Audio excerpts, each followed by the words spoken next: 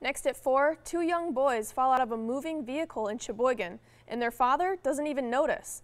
What their dad's accused of doing for the fifth time, plus a witness tells us who came to the toddler's rescue.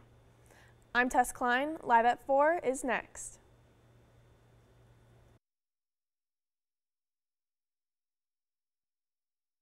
Right now, from Milwaukee, this is today's TMJ4, live at 4. Today on Live at 4, a Sheboygan dad arrested for his fifth OWI and child neglect.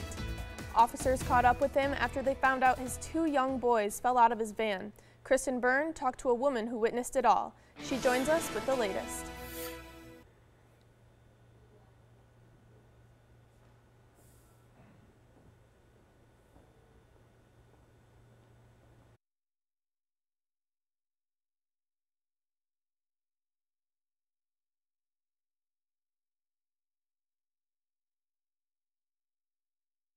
Kira Voigt was coming home from work. She lives in this upstairs apartment feet from where a one-year-old and three-year-old fell out of a moving 10-passenger van last night. I thought one of the cars like was going to actually hit the kid and then a car a guy with, in a green car jumped out and actually grabbed the kids and got him off the road. Voigt never saw the big van. That's because police say the driver drove off after his kids fell out. He told police he wasn't even aware it happened. In this case, we suspect that there's probably maybe some medications uh, involved. Uh, therefore, uh, it might not just be alcohol related. Police arrested the dad at his house for his fifth OWI, child neglect, and more. Both toddlers were taken to the hospital. One of them, police say, had a skull fracture. I hope he does get charged. I really do, and I hope CPS gets involved.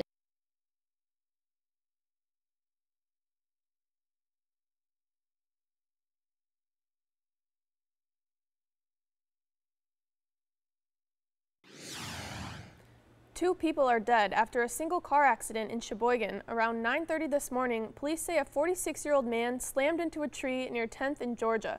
The driver and one, and one of three of his passengers died in the crash. Police say a woman and four-year-old child were taken to the hospital. Both are expected to be okay. Police are still investigating the cause of the crash. Storm Team 4 now, three days in the 70s and 80s, and two weeks ago we were shoveling snow, but it might be hard to sleep tonight. Meteorologist Brian Gotter joins us with the weather.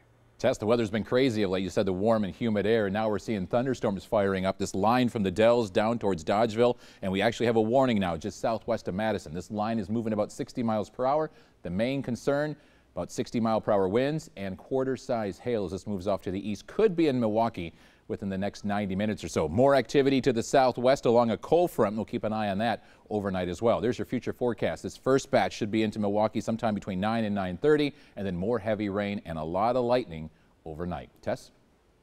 And new at 4, one person in California has died from the E. coli outbreak linked to romaine lettuce. The CDC says the romaine was from Yuma, Arizona. This is the first death from the outbreak. 120 cases have been reported since the outbreak, so far just one here in Wisconsin. A teen in West Allis ran from police, swam through a lagoon, and hid in a tree for hours last night. Police say they were called to a house on 116th Street where the teen was lighting things on fire. The teen ran into Garfield and Park and officers found him in a tree on an island in the middle of the lagoon. At first, the 15-year-old refused to come down, but eventually did. He was arrested and charged. Milwaukee police have arrested a 19-year-old man for stealing a car at gunpoint. Officers were called to 12th and Mitchell around 8 last night. They said the suspect and victim fought before the car was stolen and a shot was fired. No one was hurt. Police have not released the suspect's name. Right now, Milwaukee police need help locating a car involved in a deadly hit-and-run crash. Here's a stock image of a 90s Buick LeSabre investigators are looking to find.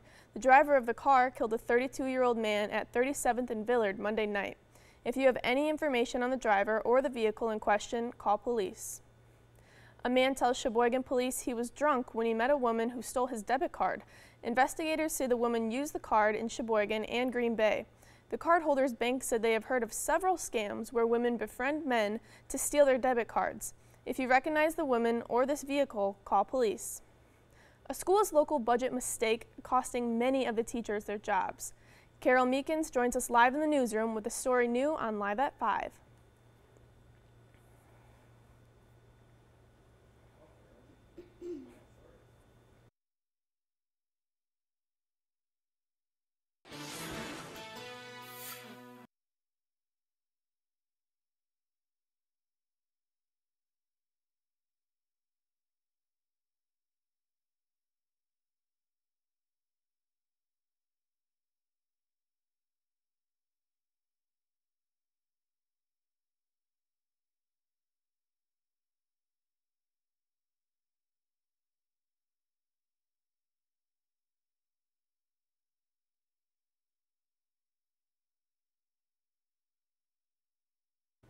If you missed the streetcar job fair earlier today, you can catch another hiring event tomorrow. The operator of the streetcar will discuss positions and take applications from 11 a.m. to 2 p.m. at the Milwaukee Career Expo. The event is at the State Fair grounds. Salaries for the positions generally range from 40,000 to $65,000. They're looking to hire 30 people for the streetcar operations. Foxconn is hoping its new home in Mount Pleasant will be more than just a factory.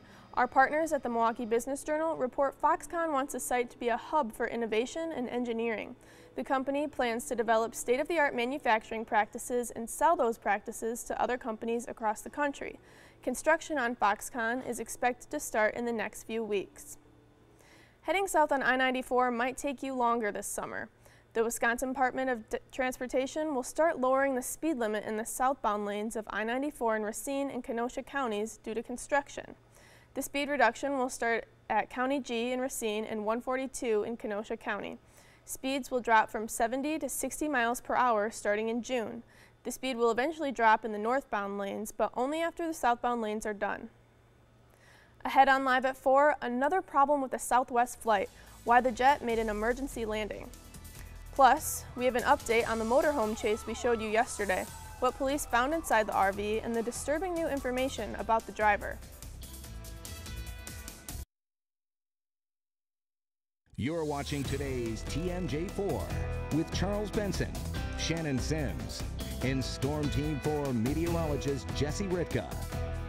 The city of Brotherly Love has reached a settlement with the two African American men arrested by police at a Philly Starbucks. An attorney for the men said they each received a symbolic $1 plus a promise from the city to set up a $200,000 program for young entrepreneurs. Video of their arrest went viral last month after a Starbucks manager called police and stated the men refused to buy anything and would not leave the store. The two men were waiting on a white friend to show up for a meeting. Starbucks says it too has reached a settlement with the men. Police in California are still looking for the man who led them on a low-speed chase in a motorhome. Police say the driver, Stephen Hawk, is, is, a registered sex offender. Hawk finally pulled over and an Orchard police found the 46-year-old man's two young children inside. The children were reunited with their mother. Hawk was convicted of having sex with a child under the age of 14. Big changes for the Boy Scouts. The century-old organization is dropping the word boy in its name. Starting next February, the program will now be called Scouts BSA. 3,000 girls nationwide are already enrolled in the BSA's early adopter program and are participating ahead of the full launch. Another Southwest Airlines plane had a window break or crack mid-flight. This photo shows a broken window on Flight 957. It was en route from Chicago to New York, New Jersey when the window cracked. The plane made an unscheduled landing in Cleveland. There are no reported injuries. The FAA is now expanding its order to inspect fan blades in the engines of Boeing 737 passenger jets. They are requiring some engines to be inspected before they hit 20,000 flights. After the 20,000, blades will need to be inspected every 3,000 flights. The move comes in the wake of last month's accident on a Southwest jet that killed one passenger and injured several others. Prosecutors say the man accused in the 2017 Fort Lauderdale airport shooting could avoid the death penalty in exchange for a guilty plea. Authorities say the 26-year-old Iraq war veteran Esteban Santiago confessed to opening fire in the baggage claim area, killing five people and wounding six more. Santiago originally pleaded not guilty to multiple charges in January. The father of one of 17 victims killed in the mass shooting in Parkland, Florida, has filed a wrongful death lawsuit. Andrew Pollack is suing the shooter, Nikolas Cruz, and also the deputy who stayed outside as the attack went down. Pollack's 18-year-old daughter, Meadow, was shot several times trying to save another student's life. I'm fighting for, for everyone that wants their kids safe at school. I'll rest when, when all those kids are safe. We're in it to bring out the incompetence so we could, have, we could prevent this happening at another school. The lawsuit also names James and Kimberly, Kimberly Sneads, the couple who took Cruz in after his mother died, saying the Sneads allowed him to have access to guns. The brother of the accused Parkland High School shooter is back in jail. Palm Beach County Sheriff's deputies arrested Zachary Cruz on Tuesday for violating the terms of his probation. Police say Cruz drove without a valid driver's license and was within 25 feet of the parking lot of a high school. Just ahead, drones taking over the sky, the world record they broke, and see the amazing sight. Coming up at 4.30, a bizarre discovery leaving police stumped, the mystery surrounding this dangling car. Need help with a consumer problem? Our call for action volunteers are ready. Call 414-967-5495 or request help online. Just click on the icon on the front page of tmj4.com.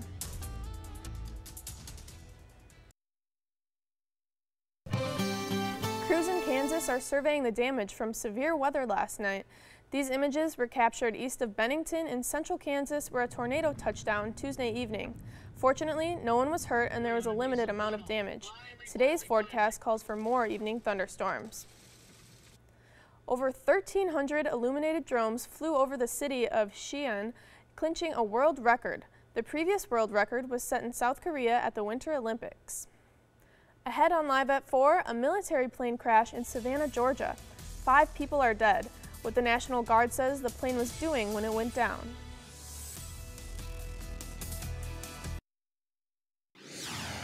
Three homes near Cambridge and North damaged after a fire this morning. The Milwaukee Fire Department believes the fire started in one home and spread to the others. Everyone was able to get out safely. An official cause is still under investigation. A proposed group home for at-risk kids not going with people living near Metcalf Park. This is the same neighborhood where a 10-year-old girl was gunned down four years ago. The community says this is not the time to bring vulnerable children and teens into an area already struggling with crime. Wheaton Franciscan All Saints Hospital in Racine has received the lowest grade when it comes to safety in the state, missing G the mark with the AD grade. The grades were given by Leapfrog, a national nonprofit that looks at safety in U.S. health systems. When it comes to infections, the nonprofit said the hospital performed below average with MRSA, C. diff, and infections after colon surgery. The hospital was given a C grade in the fall. Several employers across the U.S. are no longer testing for marijuana. The drug has been a fixture of testing for employers over the last three decades. Experts say the testing discourages too many potential workers at a time when filling jobs is more challenging. Thanks for joining us today at 4. There's more news ahead on Live at 4.30.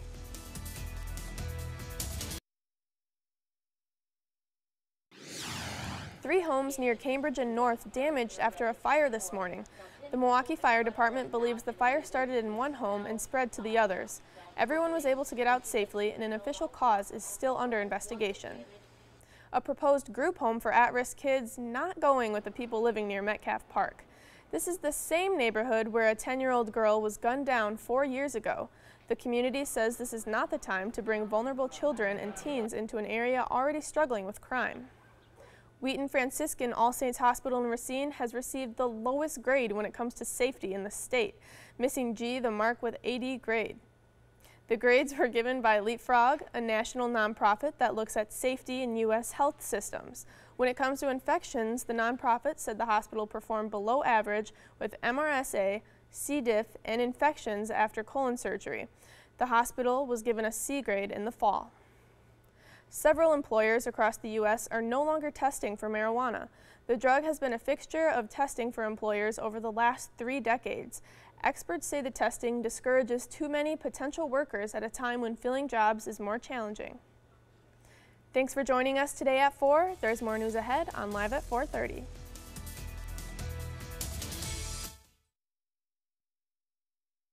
Right now, from Milwaukee, this is today's TMJ4, live at 4.30. Now at 4.30, at least five service members are dead after a plane crash in southern Georgia. The Air National Guard plane went down during a training mission. NBC's Jay Gray explains why the pilot's actions may have saved lives. Plane crash, C-130 went down. There's a large black cloud on the ground. Witnesses say the giant military transport struggled to stay in the air just before the crash. It just like started to the left, slowly going to the left, and it just went upside down on its back. I can see the flames in the air, and from the flames, I seen a lot of black smoke, white smoke on top. The Air National Guard C 130 went down just outside the Savannah Hilton Head International Airport. The plane was attached to a unit in Puerto Rico on a training mission at the time of the crash. Tonight, the pilot is being remembered as a hero, steering the plane away from those on the ground, witnesses say, before impact. There were no cars hit in this crash. It is an absolute miracle uh, at that time of day uh, and that intersection. The FAA and a military team have started separate investigations into the deadly crash. Jay Gray, NBC News. The Milwaukee Journal Sentinel is looking to move out of its current home. Our partners at the Milwaukee Business Journal report the paper has been on West State Street for many years. When the offices move to another location, the Journal says it will sell its corporate offices, which have been assessed at almost $10 million. Also in the Business Journal, Chicago-based Miller Coors says it's having a soft start to the year because it didn't ship enough beer. The company says they could not fulfill wholesale orders fast enough due to issues at a brewery in Golden, Colorado. The company's CEO also said a long and rough winter hurt many of the brands. For your money this afternoon, here's a look now at the markets at the close of the business day. The Dow down 174 points to 23,924. Nasdaq is down 30 to 7,100. The S&P down 19 to 2,635. Red across the board. What would Les Paul think? Legendary guitar maker Gibson has filed for bankruptcy.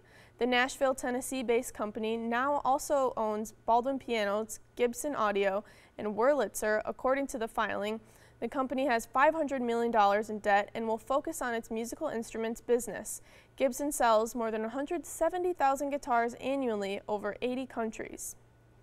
San Jose, California, and Seattle, Washington top the list of cities where millennials are finding it toughest to buy a home. Rising real estate prices, low inventory, and heightened demand are to blame for the home buying crunch. Buyers also have the same problems in Salt Lake City, Minneapolis, and Omaha, Nebraska.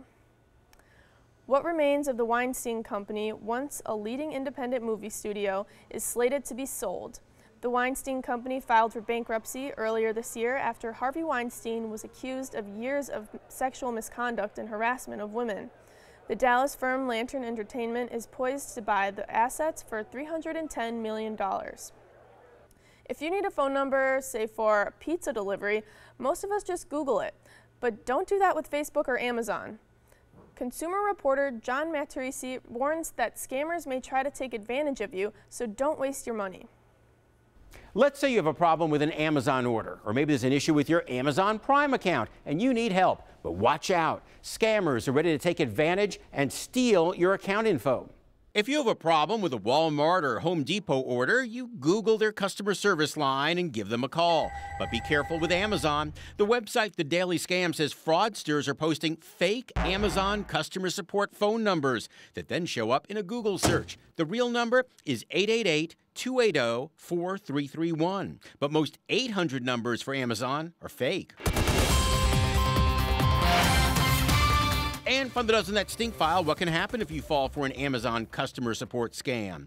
The Daily Scam says if you call one of the toll free numbers that may pop up, you'll get a man who says he works for Amazon and who asks for your account number and password.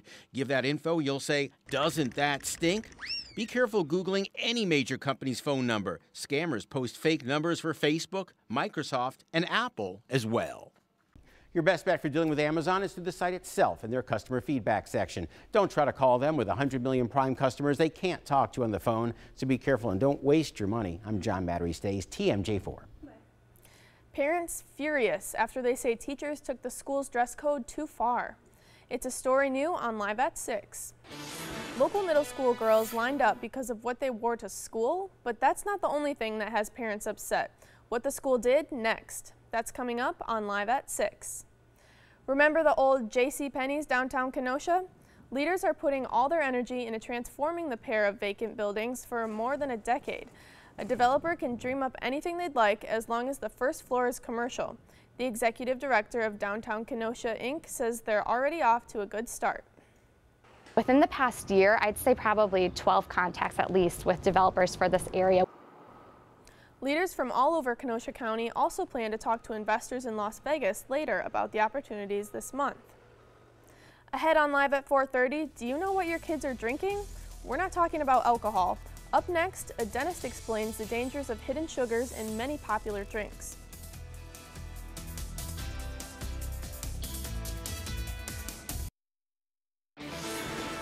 Dashcam video shows a tanker truck careen into several telephone poles in Massachusetts. The driver says a bird flew into the truck's cab, causing him to swerve. Police aren't buying it though. The driver was cited for reckless driving. A train runs off its tracks in Kentucky, causing several explosions. Officials are still investigating what caused the train to derail. They think the explosions were triggered by gas in cars being carried on the train. Luckily, no one was hurt. Police in Toronto left scratching their heads after this car was found dangling from a rope under a bridge. They have no idea how it got there. It looks like something from a movie, but police say no permits were issued for such a stunt. Firefighters were eventually called in to drop the car safely to the ground. Thanks for joining us for Live at 4.30. There's more news ahead on Live at 5.